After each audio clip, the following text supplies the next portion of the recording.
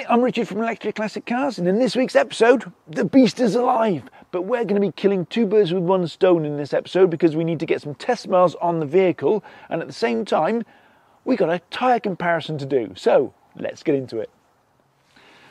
So I'm not going to go into the details of this vehicle too much because we've covered that in the previous episode. Click, click in the link above. But just to summarise, it's a Land Rover Defender 130. Uh, it's got a 170 kilowatt hour battery pack, 80 of which is in the front here. Um, we've got a, another battery pack underneath the back seats, and the rest of the battery pack is where the fuel tank used to be underneath the um, rear. Uh, what else has it got? Air conditioning, power steering, power brakes, all the usual knobs and whistles. It's got V2L, which is uh, an interesting addition to our arsenal now with the conversions that we do. CCS rapid charging as well.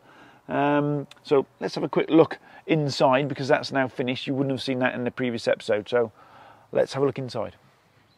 Now inside, very luxurious, not like my Land Rover whatsoever. You've got leather seats, uh, there's a sat nav and infotainment system here. It's uh, got wireless charging for your phone, which we've put in. Some really nice things we've added to this to give it a little bit of luxury. Um, not least of which cruise control we've got now as well, air conditioning, as I said before.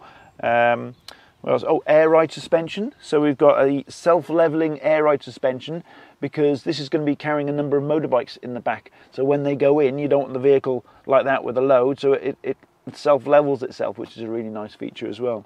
So yeah, in, inside, very nice indeed. Even got heated seats.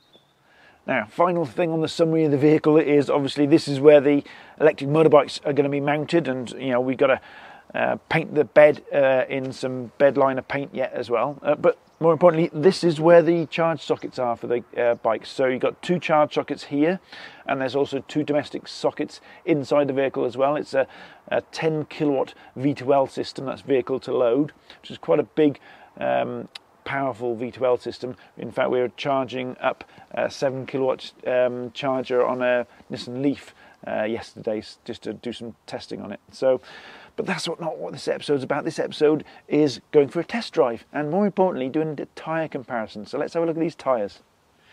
Right, now before we go for a spin, let's do a summary of the tyres. So, uh, we've got a few Land Rovers in the workshop, and as luck would have it, we've got various different types of tyres that we can have a look at. So we've got the big, huge, chunky tractor tyres. These are Maxxis uh, Trepadors.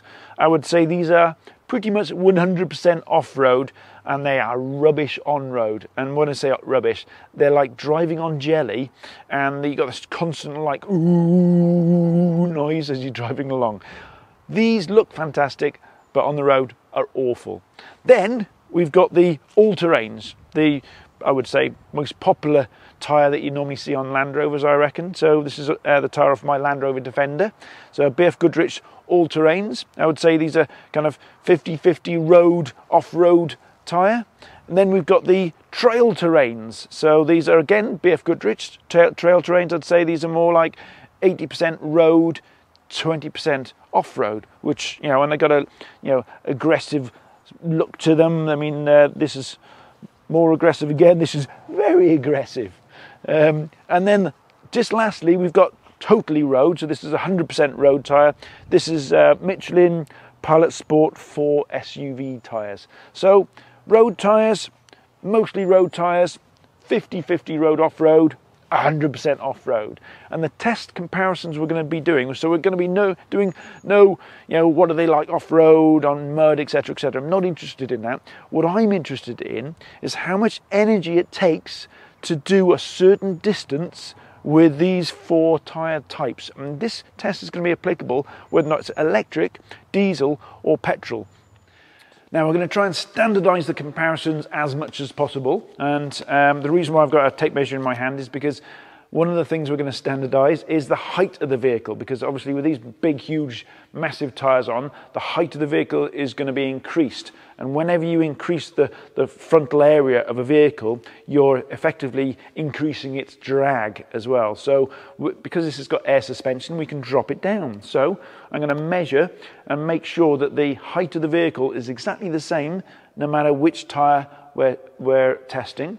Uh, secondly tyre pressures are all going to be the same. Thirdly, the route is going to be the same. So we're going to drive exactly the same route in exactly the same way on the same day as well. So this is going to be a long day, isn't it, Tim? Should be. Um, I think that's it. Is it any other things we need to normalise for, Tim? Same So- driver. Same driver, yeah, exactly. So, and same weight, as, as much as possible, we're trying to have a fair comparison, if you like, between all four tyres. And we're going to measure the amount of energy it takes to do that distance, and we'll know that distance once we've done the first route. I think it's around about 50 miles. We're going to measure the energy it takes to do that off the battery management system, so a very accurate uh, measurement of the amount of energy it takes to do the journey. So, I think we're ready to go, Tim. Let's go. Let's go. Right. Right, so I'm just going to take a quick note of how much energy is in the pack at the start. So this is the Maxxis tyres test, and there is 156.7 kilowatt hours in there. So 156.7. Okay, test one.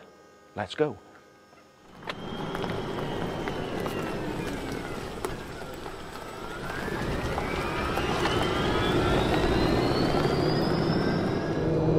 Right, now we've started our little test, and uh, I should say that we're desperately trying to keep at the same speed. Tim's also got his speed on his phone down there just to double check and keep an eye on it as well. So we're going to try and do around about 55 miles an hour continuously, where we can, obviously. Uh, no overtaking, just like keep it at around about 55 miles an hour. What's your first impressions of these Maxxis tyres then? Noisy. They're terrible, aren't they? Oh, I can't believe it. I'm amazed how bad they are. I can see you struggling with the wheel. It's like Keep it on the road. It's not just the driving on jelly thing that's getting to me. It's the I, I can't imagine Tom and Pera driving from Amsterdam with this with these tyres on. Or even driving back to Sweden. Oh, it should be impossible. I mean, they. let- Let's just you know be honest. They're going to be fantastic tyres off road, and if you're really stuck in the mud, these are the tyres you want. But unless you're doing that, these are not for the road. No, no question about it. Not a month of Sundays are these road tyres. We've only been driving for a couple of miles and already it's starting to drum into your head. Terrible, isn't it? Yeah, We're doing what, 50 miles an hour here? Yeah, 50 miles an hour. And if I go around this corner, it gets worse. As the tyres load up, Yeah. it gets worse as well.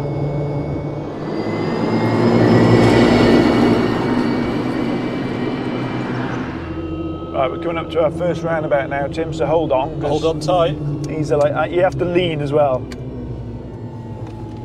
These are like balloons. Oh my god, it's bad, isn't it? Oh, I should have bought my seasick tablets.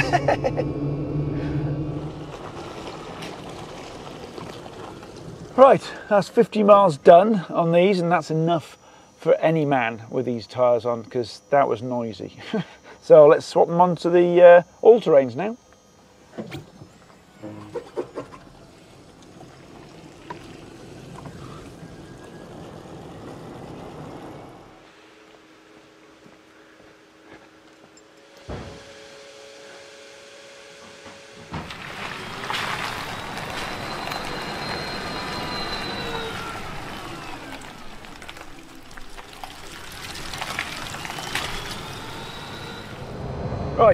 So after a uh, Formula One style pit stop there, Tim, of what, half an hour changing those wheels and tyres, we're now on the BF Goodrich all terrains.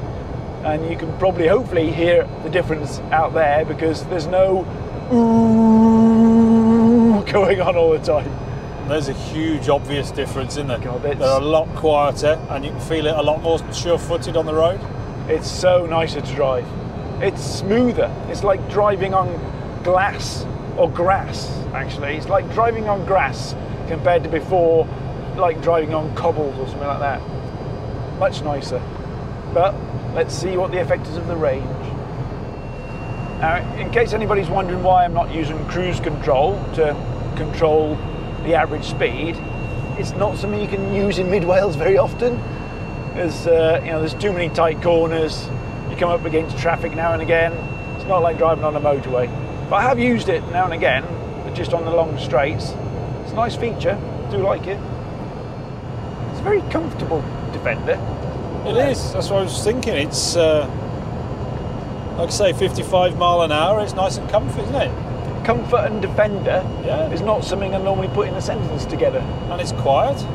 I think it helps the fact I've got more leg room because there's no clutch, there's no handbrake rubbing into the back of my leg here. A bit more room over here because the transmission tunnel is, you know, not gone, but it's definitely smaller. It's just comfortable. Right, ready for uh, roundabout test number two in the all-terrains? Yeah. It can't be as bad as the Maxxis ones. Right, let's see, see what the lean factor is. Eh, it's definitely better. Oh, that was a lot easier, wasn't it? I wouldn't say it's uh, Formula One territory. No.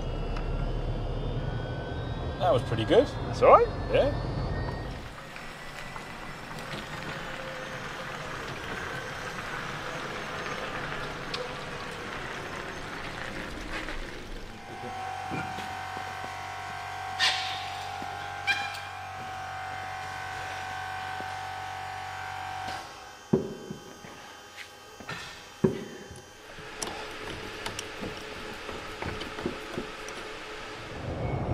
Another Formula One record stop for changing tyres. Uh, it took so long, it's now dark. So we're now on the BF Goodrich trail terrains. Yep. Trail terrains, yeah. And already, uh, the main difference I can feel after just a mile or so is I can't hear any road noise hardly at all now. Yeah, Little bit, but No, there's very little noise off the tyres, quieter again from the Yeah. uh, all terrains, Yeah. aren't they? But not the same amount of improvement as there was from Oh. the big Nobblies. No, no. I'd say marginal improvement on road noise Yeah. so far. So these being the BF Goodrich trail terrain tyres are more like 80% road, 20% off-road, aren't they? Yeah. Now, for 99.99% of 4x4 owners out there, that's probably fine. I mean, these were these would be absolutely fine on you know gravel tracks and things like that. I wouldn't necessarily take them over a wet, muddy field, let's say, but I think for nearly most applications of 4x4 owners, these tyres are absolutely fine. So it's uh, the BF Goodrich Trail Terrains turn for the roundabout test. Your highlight of the day, isn't it? Highlight of my day, yeah. but that's not difficult considering all we've been doing is changing wheels. So, and driving the same journey. what were we on now? oh, I don't know, I've lost count. Seven times? Uh... Right, here you go. Put a smile on your face. It's roundabout test time. BF Goodrich Trail Terrain, take one. Oh, oh, what a grip. It's right. Not leaning as much as I normally do. That's good, that. You're right though, it does feel very planted. Yeah. Impressed with the trail terrains?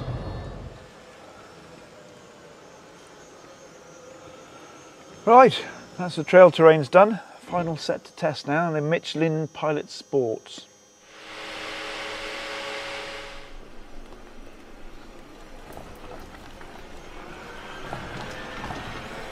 Right then, Michelin Pilot Sports. Yep. I Don't know what's sporty about them, eh? it's not, definitely not sporty in a Land Rover. Sport SUV, isn't it?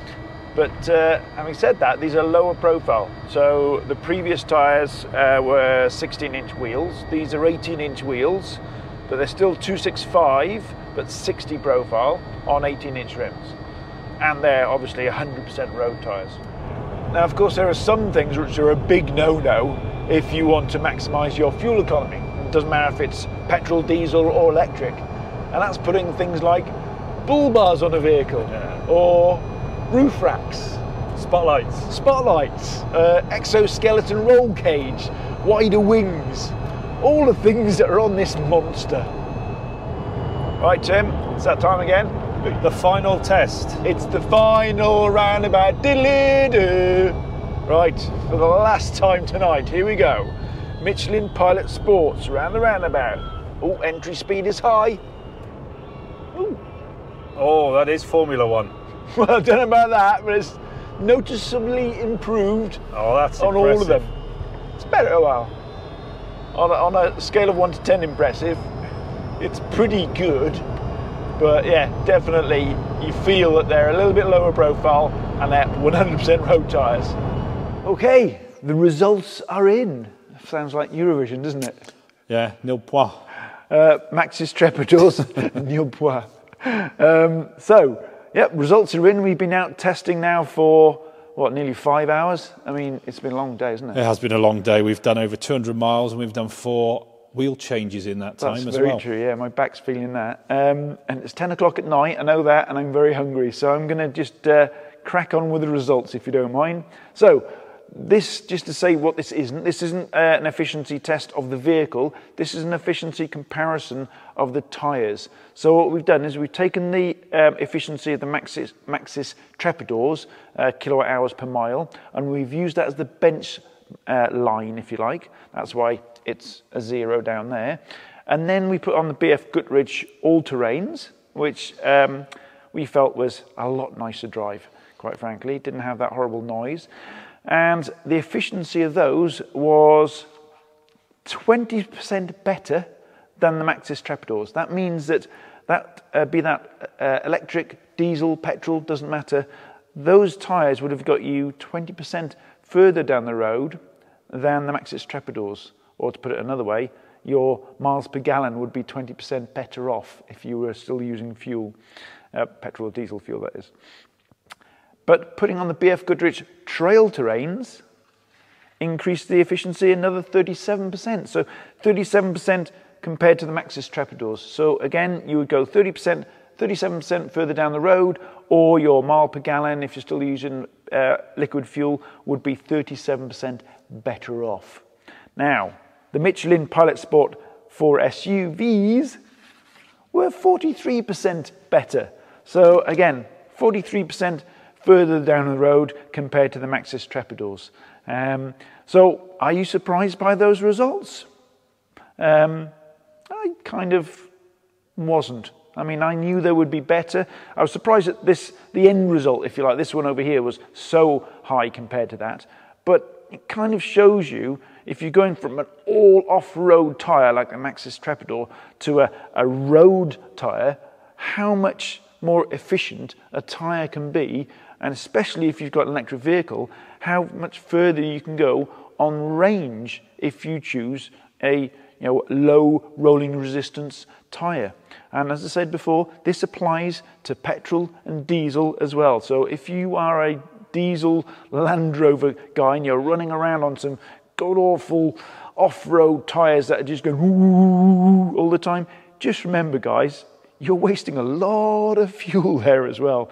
So, um, as far as driving experience is concerned, um, I think Tim and I are both in agreement. The Michelin Pilot Sport 4 SUVs were fantastic on the road, weren't they? They were, they were. But I thought that the trail terrain was probably your, your sort of middle of the road Yeah. choice, bit of everything. That was a real nice tyre, I thought. If you're going to turn your Land Rover Defender into a road going weapon, um, then these are the tyres to go for. But if you're still going to use it as it was designed to be, uh, which is a little bit off roady, getting dirty and muddy, then BF Goodrich trail terrains were really, really surprising on road. But I do quite a bit of off roading, so I'm still going to stick with the BF Goodrich all terrains because, you know, they're my go to tyre and they're really, really good. So there you go. Results are in. Happy with that? Yeah, ready for bed. Ready for bedroom food, exactly right. I'm going to go and uh, it's well past Tim's bedtime and he needs his beauty sleep. So, uh, on that note, I hope you enjoyed this episode and we'll see you on the next one.